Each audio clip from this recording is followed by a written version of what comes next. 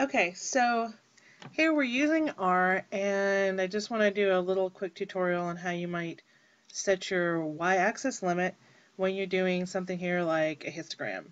So we've got all of our data loaded in already and I've actually kind of made a histogram here. You can kind of see my code here of what I'm doing.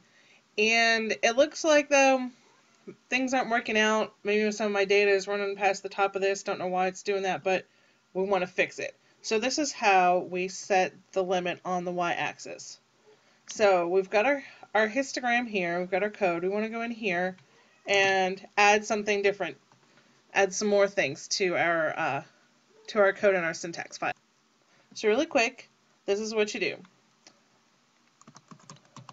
Type, type YLIM for Y limit equals C, open parentheses, here you want to put, it's usually going to be 0, comma for 2, and then however, you know, you need to set the limit. So I'm going to put 70 here because that looks appropriate. Remember to close your parentheses.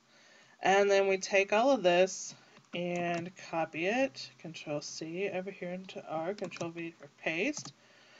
And there you go. Now, our histogram looks a little bit more organized. Now we've got everything contained within our y-axis, and that makes things a lot better.